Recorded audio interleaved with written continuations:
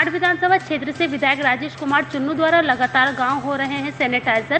कांड विधानसभा क्षेत्र में विधायक राजेश कुमार सिंह और चुन्नू के द्वारा गठित टीम कोरोना वॉरियर्स के संयोजक चौधरी विक्रांत सिंह के द्वारा किए जा रहे विधानसभा के गाँवों में सैनिटाइजर के क्रम में आज टीम ने ग्राम निगी, असगरीपुर खाना खानपुर और बिजपुरी पहुंचकर प्रत्येक घर को सैनिटाइज किया। प्रत्येक दिन विधानसभा में ये कार्य कराया जा रहा है। प्रत्येक दिन के बाद ही विधायक ने पहुंचकर टीम द्वारा किए जा रहे कार्य का निरीक्षण कर टीम के सदस्यों व ग्रामीणों को सामाजिक दूरी बनाए रखने व अनावश्यक कार्य से बाहर न निकलने की अपील की। ग्राम प्रधान देवेंद्र चौधरी, जयपाल सिंह, मयंक अग्रवाल, सुमित दिवाकर मनेंद्र पाल विपुल चाहल, डॉक्टर भूपेंद्र सिंह, अरुण चौधरी, वीर सिंह, विक्रम सिंह रोहित कुमार एवं समस्त भाजपा कार्यकर्ता मौजूद रहे। ये जो सैनिटाइजर करा रहे हैं किन किन गाँव में हो चुका है और कितने दिन से आप करा रहे हैं कितने दिन तक और कराएँगे? सैनिटाइजर तो हम करीब लगभग पिछले एक माह से करा रहे हैं और अब तक लगभग पचास गाँव में हो चुका। गाँव के नाम पूछे जाते मैं गाँव की लिस्ट भी दे दूँगा लेकिन आज जो हम खड़े हैं यहाँ ये गड़ी असगरीपुर गाँव कहलाता है हमारा।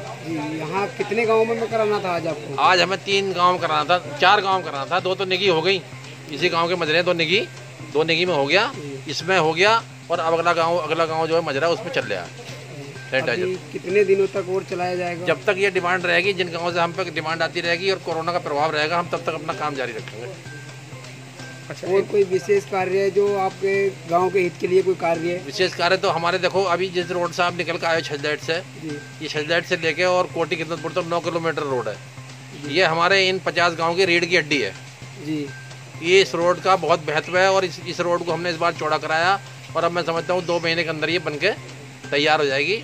ये हमारा विशेष काम है इस क्षेत्र में आपके जी क्या कोई इसमें सवारी पवारी का भी कोई साधन होगा? हाँ जब जब ये रोड रोड साढ़े पाँच छः मीटर चौड़ी बन रही तो सवारी इस पर अपने आप चल पड़ेगी छजदैट से लेकर कोटी खिदमतपुर तक ये नौ किलोमीटर के टुकड़े में टेंपू वगैरह चल पड़ेंगे।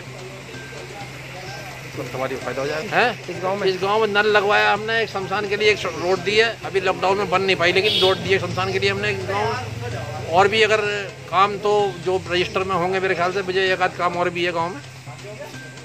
इससे अगले गाँव में भी मैंने एक खड़ंजा कराया, जिसमें अब सैनिटाइजर चल रहा है, उसमें एक खड़ंजा कराया मैंने। इससे पिछले गाँव में एक किलोमीटर खड़ंजा कराया, जिसमें ज़्यादातर सब गाँव में काम है, केवल ये, क्योंकि अब तीन करोड़ की निधि रुक गई। इस लॉकडाउन की वजह से इसलिए अब चालीस पैंतालीस गाँव काम हमारे वापस आ गए इन आगे देखते हैं क्या और गाँव के लिए कोई और कोई कार्य गाँव के लिए तो हाँ, यहाँ तो हमारे देखो सबसे बड़ी समस्या आप देख रहे हो गन्ने की खेती है। और गन्ने की जो है प्रॉब्लम लोगों को अब की बार रही तो नहीं लेकिन आगे प्रॉब्लम आने की संभावना है क्योंकि गन्ना ज़्यादा है और मिलों पे जो है बहुत स्थिति इस बार टाइट रही।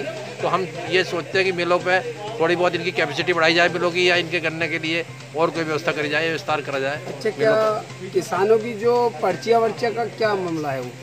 पर्ची किसानों की? हाँ हमारे हमारे क्षेत्र पर्ची कोई प्रॉब्लम नहीं है। कुछ लोगों ने बताया गया है कि हमारी पर्चियाँ अभी कुछ आई थी जो कट गई हैं कुछ रही हैं। ऐसा है गन्ने की पर्ची जो बेसिक कोटा होता है उसके हिसाब से आती है। तो कुछ लोग सभी लोग ये चाहते हैं कि यार हमारी पर्ची पहले आ जाए तो हम सबसे पहले गन्ना डाल लें।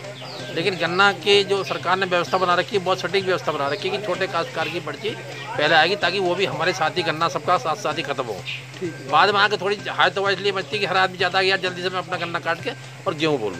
क्योंकि गन्ना बहुत था सरकार ने बहुत संभाला। इस बार तो थोड़ा थोड़ा सा सीज़न लेट हो गया वो भी सिवारा मिल का। सिवारा मिल का मिल अब तक चल रहा लेकिन बाकी जो मिल है